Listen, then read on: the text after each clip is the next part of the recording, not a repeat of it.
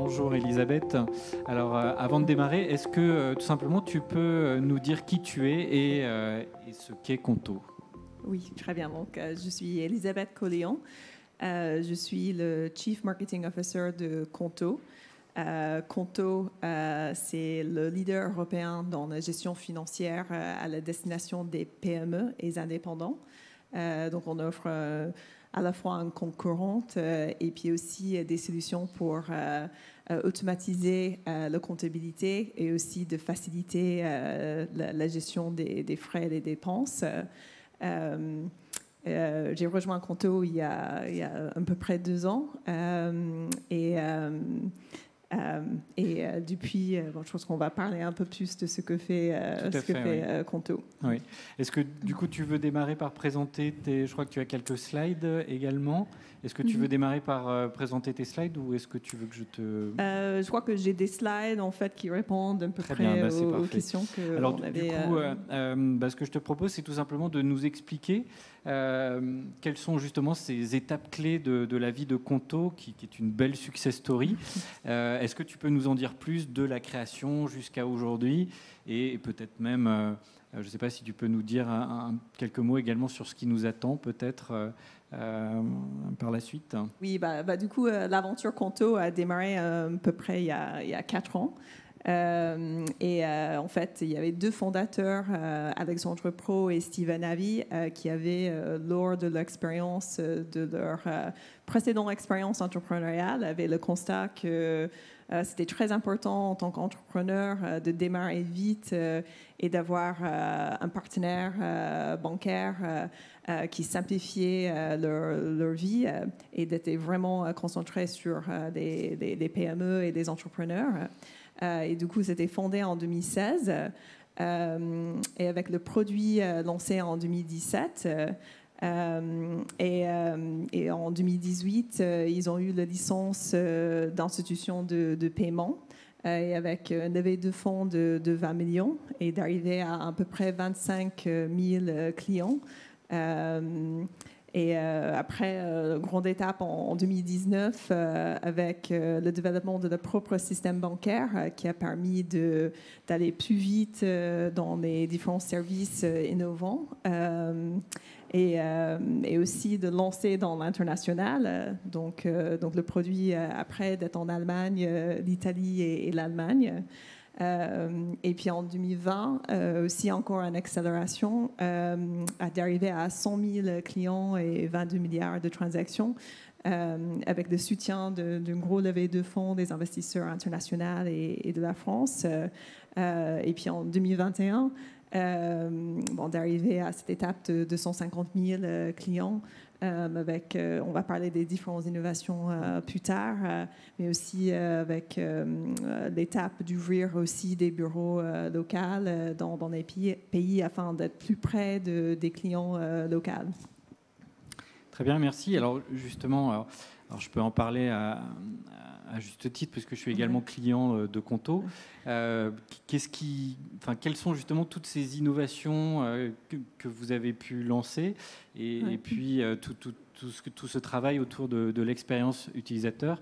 Est-ce que tu peux nous en dire un peu plus euh, Qu'est-ce qui, qu'est-ce qui, a fait finalement que ça vous a permis de vous imposer sur, euh, sur le marché français et, international?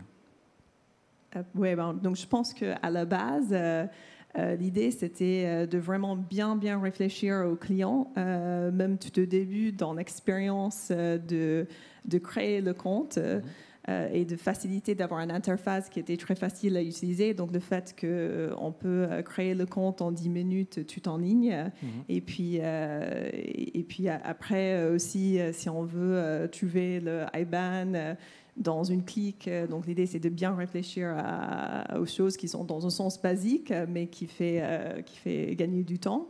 Et puis aussi avec le constat qu'on parlait tout à l'heure de l'expérience client et l'importance. Et euh, on a aussi constaté que le fait d'être disponible 7 jours sur 7, euh, euh, c'était quand même important quand on veut. Et aussi, si on veut, effectivement, on peut avoir le choix de, si on veut parler à quelqu'un, mais aussi si on veut envoyer un mail, si on veut avoir du chat et d'avoir cette disponibilité tous les jours. et après, je pense qu'il y avait aussi à la base cette idée de transparence qui était très importante à la fois en termes de, prix, mais aussi en termes de, à chaque fois qu'il y a un problème, qu'on communique de manière très transparente, même quand bon, il y a un bug dans le système, qu'on communique ça euh, de manière euh, assez ouverte à, nos clients. Euh, et en termes de, bon, ça c'est, je dirais, des, des innovations de, base. Mm-hmm. Et après, plus récemment, du coup, on a développé plus en termes de connexion euh, pour faciliter euh, la partie de comptabilité. Mhm. donc, on a plus de partenaires avec plus de 80 euh, groupes qui sont, beaucoup sont des intégrations afin de permettre permettrait d'aller plus vite dans, dans, la comptabilité avec toute la data, puis aussi des partenaires pour offrir plus vite plus de produits. Donc, par exemple, récemment, on avait lancé un partenariat avec October pour, pour des prêts. Mhm. et et euh, le troisième axe, euh, c'est aussi pour les, frais de gestion, donc aussi de rendre le fait si vous payez euh, vos déjeuners que c'est après vous tout de suite vous prendre une photo et qu'il y a la valeur probative, qu'il n'y a pas, c'est pas la peine de garder le, le ticket et puis après euh, d'envoyer, euh, même par email, euh, Conto va reconnaître en fait et matcher le, justificatif pour, enfin, de faciliter cette partie de, gestion de frais. Très bien, merci beaucoup. On a beaucoup évoqué aussi finalement l'importance de l'humain euh, tout au long de, la journée, hein, au-delà de, l'UX, des produits euh, digitaux, etc. Et euh, il s'avère qu'à midi, j'ai partagé une expérience propre avec Conto et les personnes qui étaient autour de moi ne l'ont pas forcément cru. j'ai reçu un mail en fait d'une question que j'avais posée à un conseiller Conto qui s'est excusé de ne pas m'avoir répondu en moins de trois heures. Euh, du coup, j'avoue que j'ai dû euh, relire à deux fois parce que, enfin, je citerai pas les, d'autres banques, mais euh, généralement, ils ne me répondent même pas. et les personnes qui étaient à table avec moi, malheureusement, ont, un peu les mêmes expériences. Alors, est-ce que du coup, autour de, cet aspect humain, donc au-delà du digital, est-ce que tu peux un peu nous expliquer la place de l'humain et du conseiller chez Conto, qui pourtant reste une banque digitale? Oui, oui, effectivement. Donc, cette partie humaine euh, reste euh, très, très importante. Mhm. Euh, oui, on a vocation d'être très réactif, même on essaie en fait de répondre même plus vite. C'est pour ça qu'on pense que le chat est important, mais aussi de répondre. on, cible vraiment dans un quart d'heure pour essayer de répondre vite. Et puis il y a effectivement cet aspect qui est il y a la vitesse de réponse, mais aussi, je pense qu'il y a cette partie euh, aussi humaine. Mm. Euh, et c'est là, je pense que c'est très lié à, la, fois à la transparence et puis aussi à la façon dont on parle à nos, euh, à nos clients. et, l'importance de mettre ça dans, nos priorités à la fois pour le service, après pour, pour nos clients.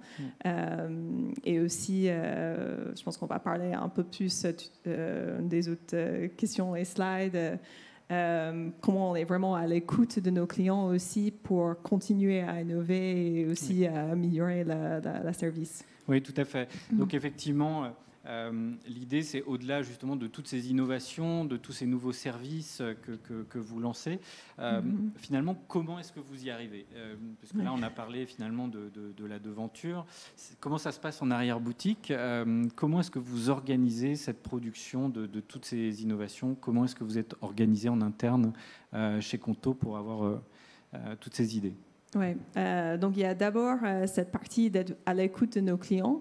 Et ce que ça veut dire euh, pour nous, c'est euh, bon, en fait, c'est à la fois de vraiment suivre le, feedback de nos clients, euh, si c'est par nos sales, si c'est par le, oui, le, chat ou l'école ou le service client, si c'est aussi, on investit beaucoup de répondre aussi très vite sur les, les réseaux sociaux, mm-hmm. mais de communiquer aussi avec, avec les clients et, et prendre ce feedback. Euh, et, et, puis aussi, on fait très régulièrement des, euh, euh, des, des, focus groups avec des clients afin de, les, mieux, comprendre. Et aussi, en fait, le challenge, c'est quand même de mettre toutes ces informations et de utiliser donc aussi, on a quelqu'un investi à interne qu'il a ce job de, de vérifier qu'on a vraiment ce voice of the customer pour, pour mettre toutes ces informations ensemble. Et du coup, c'est ça qui nous sert dans le développement du produit et les partenaires. et on sert ça aussi dans ce qu'on appelle le, le compte away, qui est très basé sur une idée que on peut être à l'écoute, on peut avoir beaucoup d'idées, mais aussi euh, comment est-ce qu'on va vite dans l'innovation. Euh, et ça, cette base, c'est le fait que c'est très important que chacun de nos employés, euh, ils, sont proactifs, ils réfléchissent de s'améliorer en continu. donc, pas faire toujours des gros projets, mais, mais, mais, même quand on a les grosses idées, que d'abord, on prend le temps de bien réfléchir, de vérifier qu'on a bien pris en mm. compte les, euh, euh, toutes les réflexions des utilisateurs. Euh, au lieu de, des fois, on dit que des startups et des scale-up, ils vont très vite. Mm. On va vite, mais on essaie de vraiment prendre ce temps au début d'analyser. Et puis après, on on dit qu'on slice dans les différentes étapes aussi pour euh, rendre la valeur euh, aux clients euh, aussi vite possible. Et puis aussi, à chaque fois qu'il y a un problème dans le développement, qu'on s'arrête et qu'on est en face de ça. Et c'est à la fois dans l'innovation pour le, produit, mais aussi l'innovation dans le service clientèle ou dans le marketing, dans tous les domaines de, de. Très bien.